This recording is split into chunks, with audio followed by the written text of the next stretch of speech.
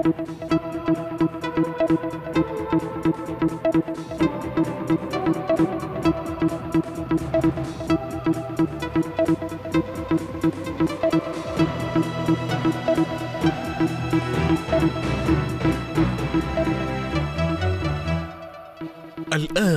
نشرة الأخبار مع سؤد الطارق. نشرة رئيسة لأهم الأنباء أهلا بكم. نبدأها بأهم ما فيها.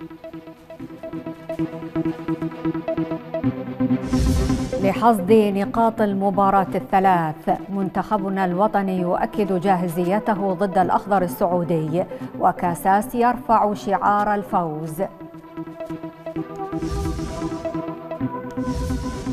تخفيف الزخم المروري في بغداد أولوية. السلطات تعيد فتح المنطقة الخضراء أمام حركة سير المركبات.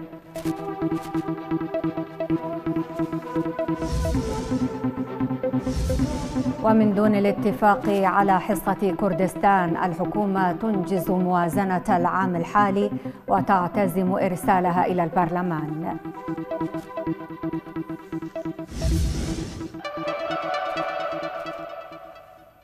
أهلا من جديد. البداية من آخر مستجدات بطولة خليج 25 المقامة في البصرة.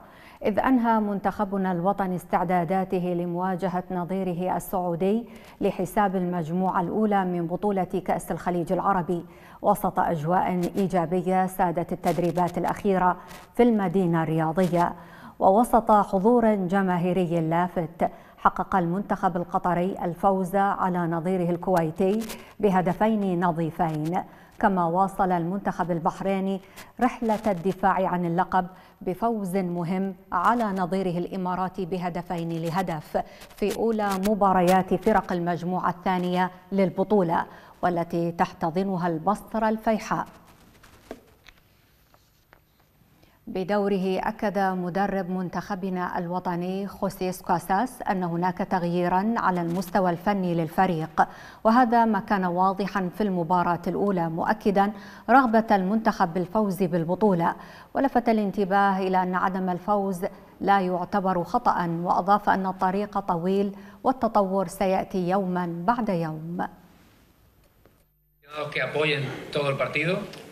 ما كانش عندنا الفرصة إن إحنا نكسب. واكيد إحنا عندنا الرغبة في الفوز بجميع المباريات. ولكن هذا لا يعني إن أنا إن أنا من اللازم أو يجب علينا الفوز بكأس الخليج. كأس الفوز بكأس الخليج que no escuchen cosas poco inteligentes. أكيد شيء مبهر وشيء جميل لكن مش إجبار مش إجباري. إحنا نرغب في الفوز وعندنا الرغبة في الفوز. لكن الذي en el fútbol en el deporte no es fácil ganar. يظن إن عدم الفوز يعني كمصيبة أو أزمة أو لا هو غلط غلطان. إلى ذلك أشاد رئيس البرلمان محمد الحلبوسي بالكوادر العاملة على مدار اليوم في منفذ سفوان خلال زيارة أجراها للمنفذ من أجل الاطلاع على انسيابية وتسهيل دخول الوافدين. وذكر بيان لمكتب رئيس البرلمان أن الحلبوسي زار منفذ صفوان للاطلاع على انسيابية وتسهيل دخول الوافدين من الدول العربية الخليجية المشاركة في بطولة خليج 25 ورافق الحلبوسي أثناء الزيارة محافظ البصرة أسعد العيداني ومدير المنافذ الحدودية اللواء عمر الوائلي. تزينت مدينة الفلوجة بأعلام دول الخليج احتفاء بذلك العرس الكروي الكبير. فقد وصفت الجماهير الأنبارية ذلك الافتتاح المبهر بأنه يليق بتاريخ العراق وحضارته. وبعد غياب لأكثر من أربعين عاما أكدت الجماهير أن افتتاح بطولة خليج 25 بالبصرة هو بمثابة رسالة إلى دول العالم أجمع بأن العراق قادر على استضافة جميع البطولات الدولية والعالمية. بعد انقطاع دام أكثر من 40 عاما عادت البطولة الخليجية بنسختها ال 25 إلى العراق. وهذا دل دل يدل على أن العراق بلدا جاهزا من الأمن والأمان والاستقرار. وهذا يدل بأن لدينا كافة المقو... المهيئات لهذه البطولات كخليج 25 وبعدها سنقد نتمنى أن تكون بطولة آسيا غرب آسيا وأمم آسيا وغيرها من البطولات. والله شفت اليوم فرحة عظيمة للشعب العراقي على هذه الافتتاحية الجميلة اللي افتتحها مدينة البصرة آه، خليج 25 بصراوي إن شاء الله افتتاحية جميلة والعراق يستحق هذه الافتتاحية الجميلة. وإن شاء الله دائما تكون فرح للعراقيين والشعب العراقي وكل بضيوف شعب الخليج بوطنهم العراق. أما الآن ينضم إلينا مراسلانا من مدينة البصرة علي عبد الكريم وخالد السلام. أهلا بك خالد. نبدأ معك لتضعنا في أجواء اليوم الثالث لانطلاق بطولة خليجي 25 في محافظة البصرة لو سمحت. أهلا وسهلا بك زميلتي العزيزه وبمشاهدي قناة الفلوجة الكرام. آه، بصراحة الأجواء آه، مفرحة في عموم محافظة البصرة حتى هذه اللحظة. كما تشاهدين نحن حاليا على كورنيش شط العرب والكثير من المواطنين يتجولون ومن ضمنهم الخليجيين الضيوف الخليجيين أيضا. آه، يعني مناظر بصراحة مبهجة. نجد أنه يعني اليوم حتى الضيوف الخليجيين الضيوف من المحافظات الأخرى هم يتجولون يتجولون يعني براحتهم. آه، قبل قليل محافظ البصرة آه، أعطانا تصريح خاص بأن عدد الزائرين حتى هذه اللحظة آه، لمحافظة البصرة خلال العشرة أيام السابقة ولليوم هو تقريبا بلغ أكثر من 31 ألف زائر جاءوا إلى محافظة البصرة. تقريبا يشكل عدد كبير منهم ضيوف خليجيين. النقطة الأخرى أيضا الذي يشيد فيها اليوم أبناء البصرة آه، الجهود المكثفة للسيد رئيس مجلس النواب الأستاذ محمد الحلبوسي ومحافظ البصرة والجهود الذاتية التي كانت خاصة لديهم يوم أمس في آه، آه، يعني الإشراف على دخول الضيوف الخليجيين. هذه رسالة بعثوها لنا الضيوف الخليجيين خلال لقاءاتنا معهم. يقدمون الشكر على هذه الجهود التي قدموها. وأيضا جهودهم الحثيثة لإعادة الوفد الرياضي الكويتي إلى محافظة البصرة. زميلتي العزيزة إذا يسمح الوقت لدي ضيف آه، من محافظة الأنبار آه، نعم. يود لو سمحت في آه، خالد. نشرة الفلوجة نعم نعم نعم السلام عليكم. شلونك عيني شلون حياك الله عيني هلا بك. الله يسلمك. آه. اليوم بين أهلك وناسك ومحافظتك نعم، البصرة نعم. ومن الانبار واحد إن شاء الله. اليوم الأجواء. نريدك تحكي لنا عن الأجواء. جدا رائعة. يعني ما تتخيل إن هاي اجواء البصرة. يعني أجواء يعني تعبر عن قوة الشعب العراقي ومع قوتنا الخلايجه يعني أجواء كانت حيل رائعة ونتمنى تكون هاي فاتحة خير لرفع الحظر عن العراق. لأن العراق شعب يحب الحياة شعب متسامح شعب يحب اخوته الخليجيين وأسأل الله أن تكون فاتحة خير لرفع الحظر وعاده عاده رفع الحظر عن العراق وعاده الأمور كما هي ونستقبل بطولات أكبر منها وهي بطولة كأس آسيا إن شاء الله وكان الافتتاح جدا رائع يضاهي افتتاح كأس العالم. وأنا من الأنبار وأشكر أهل البصرة على حسن الضيافة أهل عزوبيه معنى الكلمة بينت لمتهم ولحمتهم يعني يعني كأخوة واحد في وطن واحد. إن شاء الله إن شاء الله. نعم. آه زميلتي العزيزة نعم آه كان هذا آه نعم رأي نعم. أحد نعم أحد نعم. إخواننا في الأنبار نعم آه هذه فرصة خالد آه، استميحك عذرا فقط لننتقل وربما سنعود نعم. إليك في وقت لاحق فقط لننتقل نعم. إلى مراسلنا آه، كذلك نعم. من مدينة البصرة من محافظة البصرة الفيحاء علي عبد الكريم وضيفه من هناك تفضل علي نعم أهلا بك زميلتي وبكل مشاهدي قناة الفلوجة الفضائية. قبل الحديث عن كل شيء نرحب بالكابتن باسل جولقيس اللاعب الدولي السابق. أهلا بك كابتن. أهلا وسهلا بك أستاذ. حدثنا اليوم عن الأجواء في محافظة البصرة. منذ وصولك لغاية اللحظة. يعني تعرف الأجواء اللي كنا ننتظرها من من مدة طويلة. شكرا لكل الجهود اللي بذلت. شكرا لاخواننا الخليجيين اللي كان لهم دور كبير لإقامة البطولة في البصرة. أجواء رائعة. شوف من شوف الإعلاميين شوف جميع الشخصيات الرياضية الإعلامية آه، متواجدة في البصرة في كل الأماكن في البصرة. بصرة الأمان بصرة بصره بصرة الخير. فهو هذا هدفنا إنه كرة قدم هي آه، رسالة سلام ومحبة بدنا نرسلها من أرض البصرة لجميع أنحاء العالم. نشوف انتهاء الجولة الأولى كان أكو نجاح كبير، أيضا المنظمين يتحدثون عن مفاجآت ربما آه، تكون في الجولات القادمة، آه، أيضا يعني فنيا تحدث عن الجولات القادمة شلون راح تشوفها تتوقعها؟ يعني هي كل البطولات المباراة الأولى تكون حساسة آه، جدا. فتظهر الإمكانيات الفنية بالمباراة الثانية أكثر وأكثر. يعني اللاعبين يستقرون الكادر الفني يستقر حتى الإداريين يستقرون أكثر. وتعرف كرة القدم حلاوتها مثل ما يقول هي بالمفاجآت. فإن شاء الله راح نشوف مباراة عالي المستوى وبها مفاجآت كبيرة وهي هاي تحلي البطولة أكثر. البعض يتحدث أنه هذه البطولة ربما هي الأفضل في تاريخ البطولات الخليجية. في ظل حضور جماهيري كبير ونشوف أعداد من الإعلاميين والصحفيين من كل دول العالم اليوم موجودة ربما لم تسبق بطولات الخليج مثل يعني هي من بداية افتتاحية البطولة. اللي شفتها يعني افتتاحية رائعة جدا كانت. آه يعني كلنا انبهرنا بهذا الافتتاح وهذا اللي هدفنا كان إنه نرسل هي هاي كلها رسائل إنه إيجابية لجميع أنحاء العالم آه إنه العراق بخير إنه العراق آمن إنه العراق آه يحب الكرة يحب الحياة.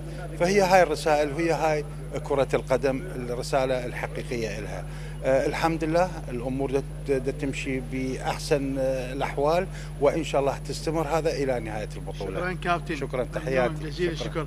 أيضا يعني آه، بالحديث أكثر عن نعم. الأجواء هنا أجواء إيجابية. اليوم لا يوجد لعبات بالتالي هناك ارتياح هناك أيضا إعادة لبعض الخطط بما يخص نعم. التنظيم. أيضا قبل قليل الكابتن عدنان درجال تحدث عن خطة جديدة للتنظيم في المباريات القادمة. بدءا من مباريات نعم. يوم غد سيكون نعم. بيع البطائق الكترونيا حصرا بالتنسيق مع شركة آه، أمريكية. آه، ستتكفل بهذا الموضوع. ربما يعني تم آه، التأشير إلى بعض السلبيات البسيطة نعم. التي حدثت في المباراة الأولى. سيتم تلافي كل تنظيم الجماهير سيتم تلافي كل الأخطاء في المباريات نعم. القادمه وأيضا تحدث ستكون هناك مفاجآت كبيرة خلال الجولات.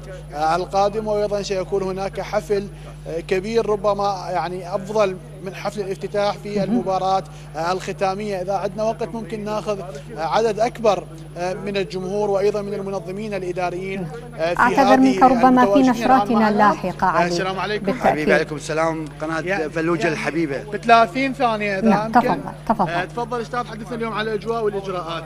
الأجواء كلش حلوة. طبيعية بطولة خليج بصرة طيبة. وإحنا بس اكو شغلة واحدة لازم نحكيها. أنتم الاعلام أنتم قناه فلوجه تمنينا الرموز الخليجي اللي شاركوا. القدماء بصرة البصرة هادي أحمد على أحمد رحيم كريم إحنا معاصريهم. وجلي حنون وبعد بعد اليوم عن الاجواء الايجابيه ايجابي لا لا إيجابية كلش إيجابية كلش حلوة بس إحنا نحكي مين خاف على الرموز. هذول الرموز اللي طالبوا هم الخليج قالوا وين النجوم؟ النجوم اللي شاركوا. أحمد راضي الله يرحمه ناظم شاكر ما ما دعوا ما, ما جابوا طاري. لا لا ما ما دعوهم مو يجيبون حبيبي. حبيبي إحنا رياضيين نعرف. غير يطالبون. أحمد راضي الأسطورة يقولون هذا ناظم شاكر. سد أنا أتذكر عمري 13 سنة خالد البحراني الله يرحمه. خلا أفهم لك صورة الرياضة. شنو الرياضة؟ لا ما يخاف ما يخاف ما يخاف ما حلوة هاي؟ خالد خالد آه، الحلواني. قال ما في نمرة أربعة ما في العربيد. ما يلعب ناظم. ناظم ما يلعب. لعبوا ومناظم نعم. ملعب خسروا. ربما هذه نقاط مهمة لضمان نجاح هذه البطولة حتى الخميس الخنجر. يعني اختتامها. تحياتنا البطل. شكرا جزيلا. بالتأكيد. نعم زميلتي شكرا يعني جزيلا كما لك. شاهدتي نعم. هذه هي آراء المتواجدين نعم. هنا. نعم بالتأكيد. شكرا جزيلا لك علي عبد الكريم. كذلك خالد السلامه شكرا لكما.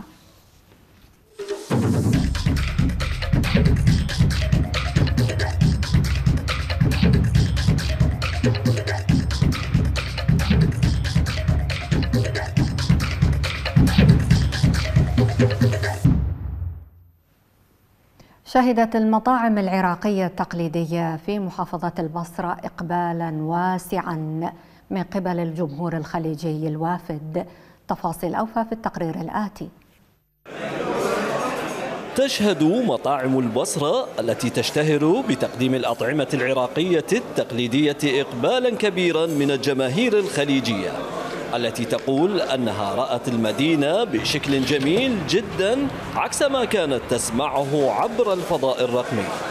أول يوم أجي لي في البصرة بس ما شاء الله المطاعم متنوعة وأكلها جميل جدا. المكان كل كل واحد وده يحضنك على قولتهم ويحطك في عينه. كل شيء ذوق المطبخ العراقي حيل حلو. الدولمه المشويات المسكوف كلها كلها حلوة. ما شاء الله لا إله إلا الله. الوجهة الأخرى للجمهور الخليجي في البصرة كان شط العرب حيث يتجمع المئات للاستمتاع بالأجواء الجميلة التي يزينها النخيل الباسقات. والله من دخلنا وحنا مستانسين للأمانة. هذا حنا على الشط ومرينا أكلنا قبل شوي وصلنا هنا الشوارع والأمن. والله صراحة يعني اللي سمعناه شيء واللي شفناه شيء ثاني بكل أمانة. فالبصرة أنا آخر مرة شفتها صراحة متغيرة جدا ومتطورة أكثر من آخر مرة شفتها بها. يعني 30 سنة تقريبا عمر. صراحة يعني الشيء الزين أن البطولة صارت بالبصرة. كرم الضيافة كان السمة البارزة في حديث الجمهور الخليجي الذي أبدى إعجابه الشديد بطريقة تحضير الشاي العراقي. طبعا الختامية يعني عند الشاي العراقي اللي هو شاي الزعيم إحنا بنسميه. تعتبر هذه أول زيارة لنا داخل الكويت داخل العراق وإن شاء الله إنها تكون زيارات مستمرة على طول. كرم اللي شفناه لحد الآن كل ستان نوقف نبي نشتري شيء يا راعي البسطة ما يخلينا ندفع أو الشباب اللي حوالينا قاعد يدفعون عنا فمشكورين جدا جدا جدا يا أهل البصرة. أجواء ابتهاج تعم الشوارع البصرية لوجود الأشقاء العرب فيما رسائل الجمهور العربي كانت تتحدث عن مدى الأمان وحفاوة الاستقبال. خالد السلامة لقناة الفلوجة البصرة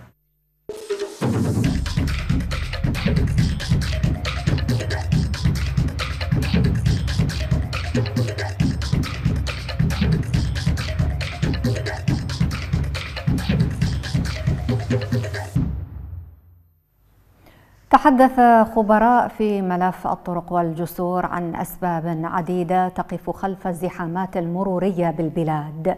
وقال الخبراء إن السبب الأبرز هو تزايد أعداد المركبات بعد العام 2003 إلى الضعفين.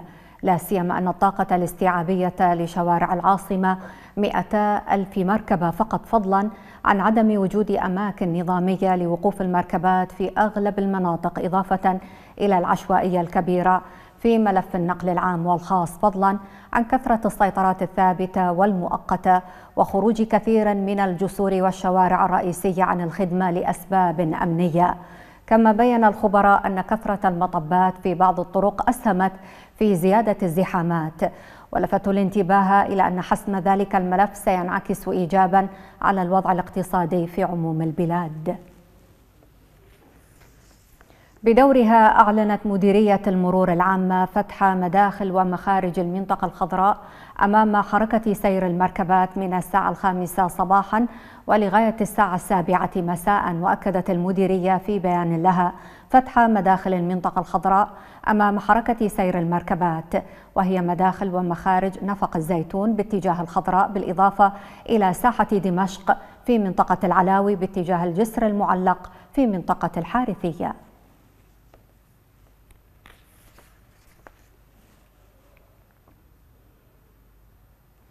في خطوة لفك الاختناقات المرورية في بغداد العاصمة. دائرة البلدية وبالتعاون مع دائرة المرور والقوات الأمنية تشرع برفع سيطرات رئيسية. تفاصيل أوفى في التقرير الآتي. لم يتبقى سوى هذه الإشارات التحذيرية الموضوعة عند مدخل جسر ذي الطابقين بعد رفعت السيطرة الأمنية الموضوعة في هذا الطريق لعدة سنوات. ترفع دوائر البلدية آخر ما تبقى من سيطرتي الجادرية وذي الطابقين. خضوعا لمتطلبات فك الاختناقات المرورية وتنفيذا لتوجيهات حكومية برفع السيطرات وإعادة افتتاح الشوارع المغلقة في بغداد. قامت كوادرنا برفع سيطرة جادرية وسيطرة جسر الطابقين. وقص كافة الأشجار والتنظيف وغسل توجيه كافة الشوا...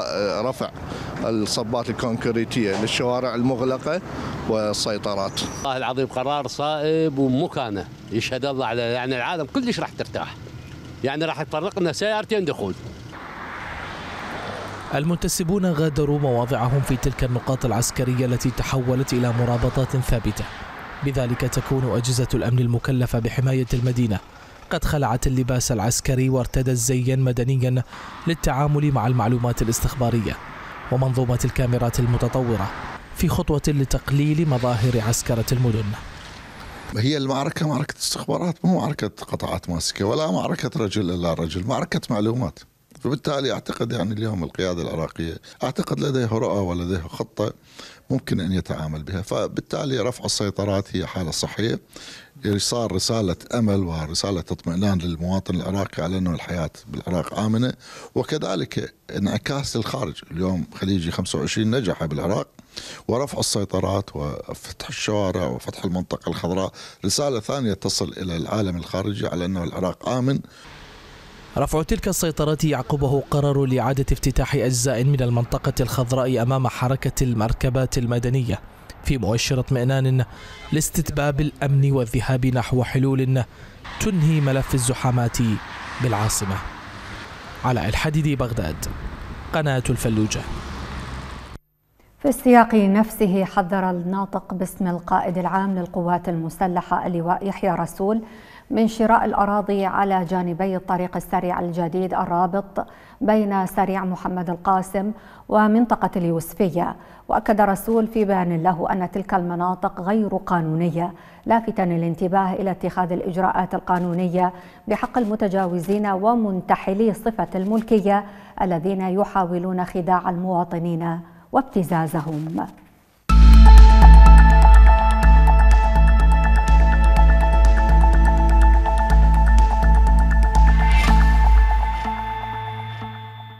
أعلن وزير التجارة أثير داوود الغريري إطلاق الحصة الأولى من السلة الغذائية والطحين للعام 2023 اعتبارا من اليوم الأحد وذكر المكتب الإعلامي لوزارة التجارة في بيان له.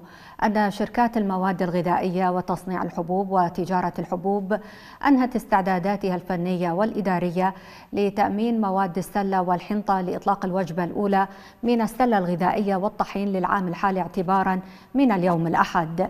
ودعا البيان وكلاء المواد الغذائية والطحين إلى مراجعة مراكز القطع في بغداد والمحافظات لتسلم قوائم التجهيز بالمواعيد المحددة لكل مركز مع مراعاة أسبقية التجهيز للمناطق الأكثر فقرا اقتصاديا سربت أوساط نيابية معلومات متضاربة بشأن مصير مسودة موازنة العام 2023 في وقت تراوح فيه مفاوضات وفود إقليم كردستان مكانها بخصوص حصة الإقليم منها. وذكر نواب أن الحكومة أنجزت مشروع قانون الموازنة وسيجرى إرساله إلى البرلمان بالتزامن مع بدء الفصل التشريعي الثاني الذي سيبدأ أعماله غدا الاثنين لغرض مناقشتها وإقرارها.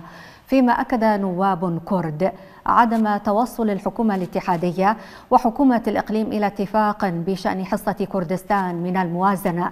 لافتين الانتباه إلى أنها ما تزال في مرحلة الإعداد من قبل الحكومة وأوضحوا أن أسباب عدم جاهزيتها للمناقشة والإقرار تتلخص في كونها بحاجة إلى إعداد فقرات منها حصة الإقليم وسعر الصرف وتخصيصات البنى التحتية.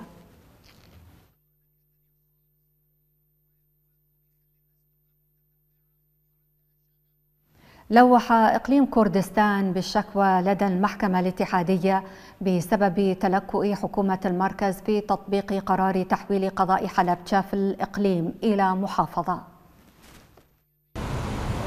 بالرغم من توقيع حكومة إقليم كردستان قرار تحويل مدينة حلبجة إلى محافظة وتصديق برلمان الإقليم هذا القرار فإنه بقي معلقا دون تنفيذ من قبل الحكومة الاتحادية السابقة نتيجة ما مرت به البلاد من تظاهرات تشرين وجائحة كورونا.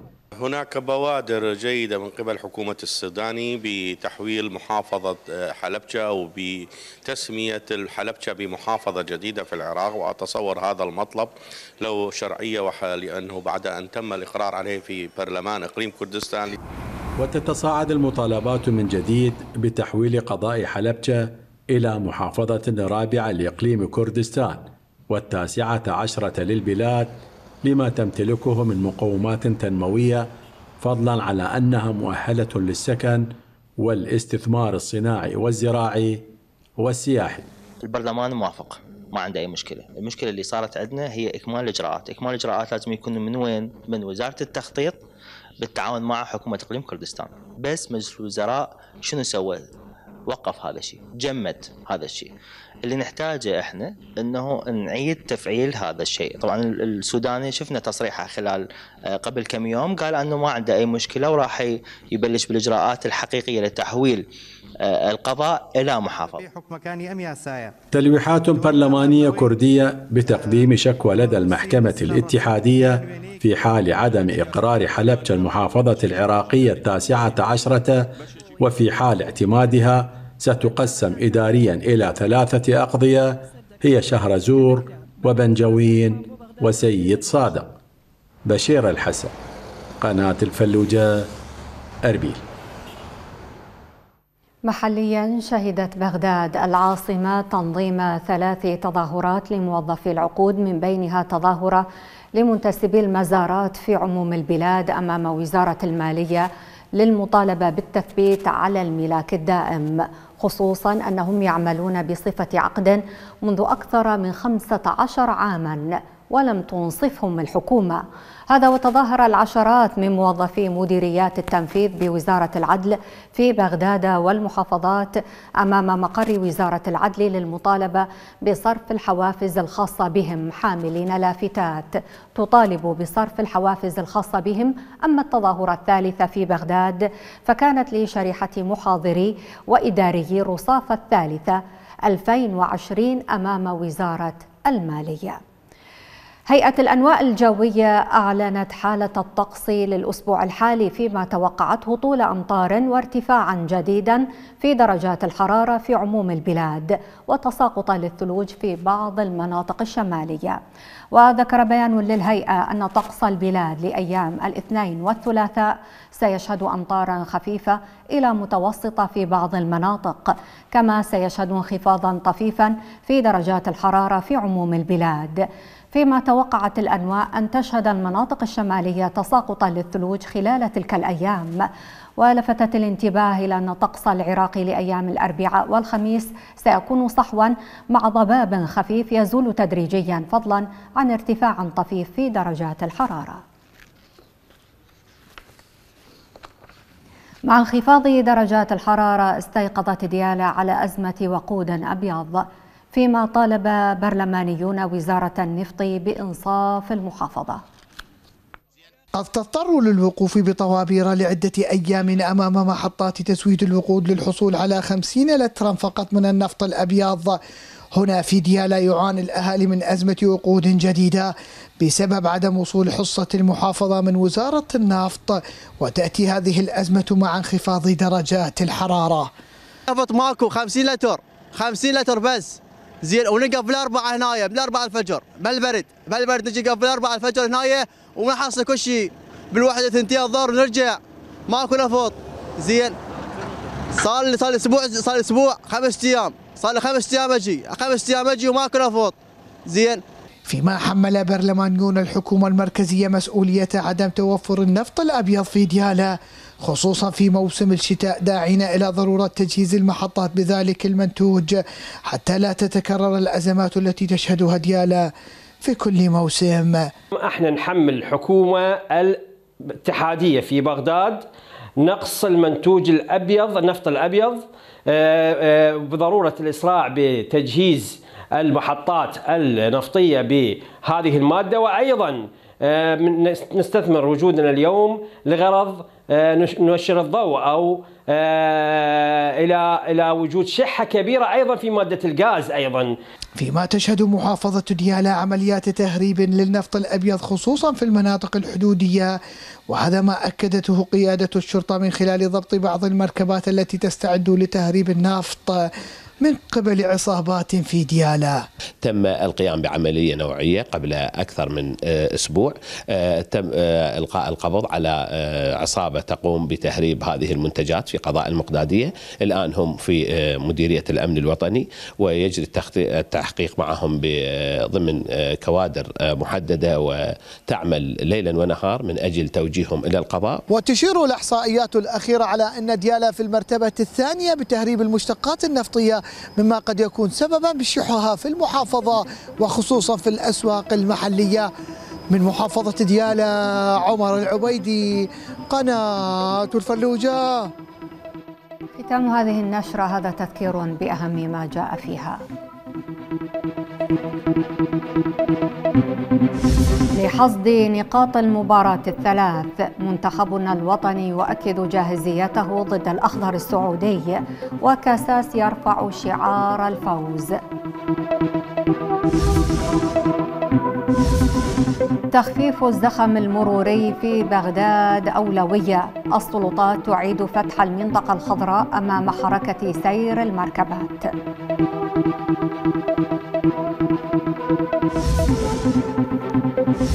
ومن دون الاتفاق على حصة كردستان الحكومة تنجز موازنة العام الحالي وتعتزم إرسالها إلى البرلمان.